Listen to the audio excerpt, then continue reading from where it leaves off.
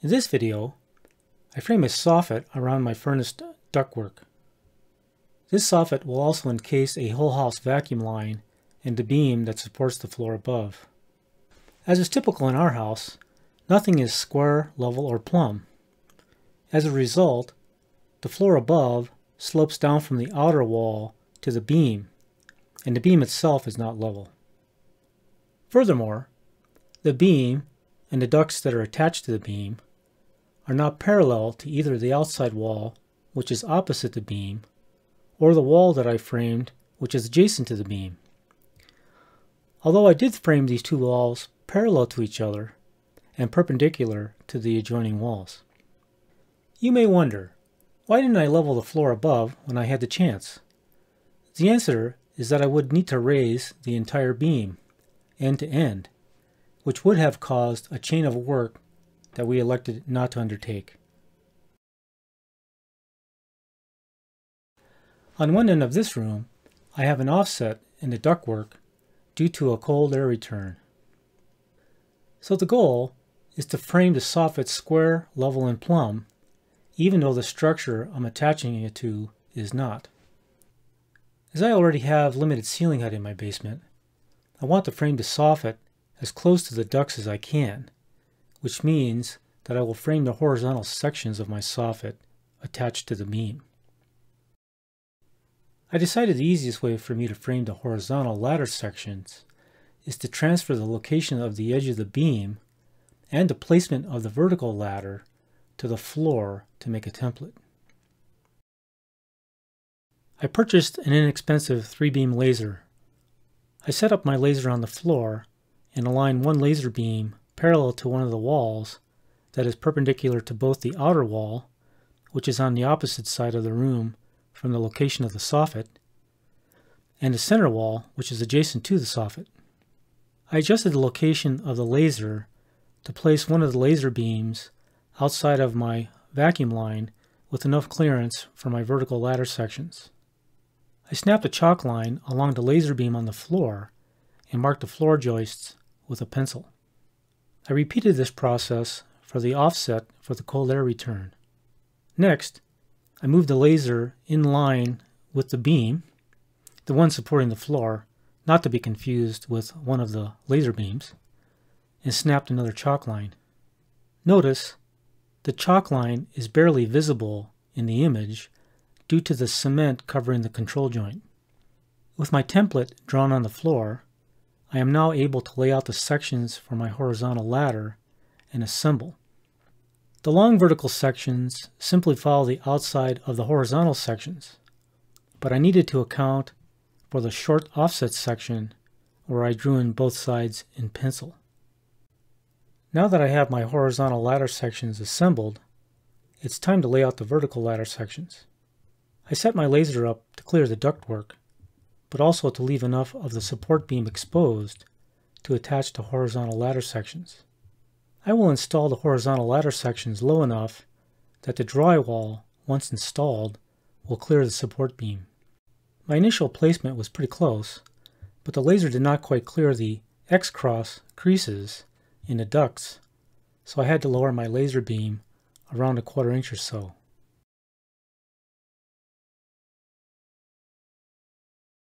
I laid out the top and bottom plates for the vertical ladder sections on the floor. As with the horizontal ladder, I assembled the vertical ladder in sections, partly to make use of 8-foot 2x4s, but also to make it easier for me to install the sections by myself. I laid out the locations of the studs, making sure that they do not line up with the floor joists above, so I can attach the top plates to the joists using screws. Think of the vertical ladder as a really short wall using plates and very short studs. I need to determine the length of each individual stud because the floor above is not level, but I'm building my soffit level. I measured the distance from each floor joist to the laser beam and record recorded dimension directly on the plates. I cut the studs to length and assemble the vertical ladder sections. I lay all the horizontal and vertical ladder sections on the floor to verify that they match my template. I'll install splice plates between two of the vertical ladder sections once I get them hung. To hang the vertical ladder sections, I drive a pair of 16 penny nails on either side of the location of the top plate near both ends of each section. I attach a length of tie wire to the nails on the same side of a vertical ladder section. I make a loop at the loose end of the tie wire to reduce the chance of poking myself. I use a 6 foot ladder to support one end of the vertical ladder section, then use a short step ladder to raise and hang the other end of the section by looping the tie wire to the opposite nail. Then it's a simple matter of raising the opposite end to the floor joists and securing with the tie wire. I go back to the first end and tighten as needed. I repeat the process for the remaining vertical ladder sections.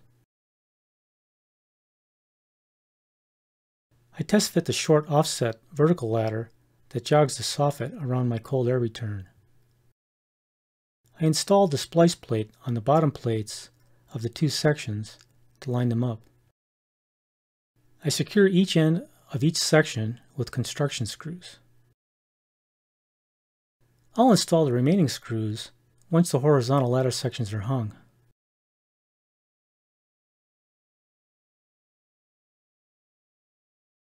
To hang the horizontal ladder sections, I use a combination of tie wire and bar clamps. I iterate back and forth until I'm satisfied that everything is lined up and level. Once I'm happy, I secure the horizontal ladder to the vertical ladder and a support beam with construction screws.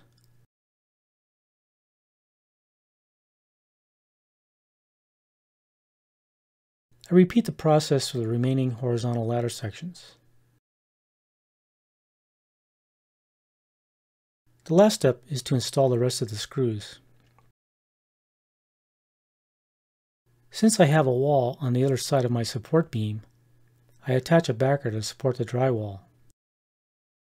The gap between the wall and the horizontal ladder is small enough to support the drywall without any additional framing. I hope you enjoyed my version of framing a soffit while working alone.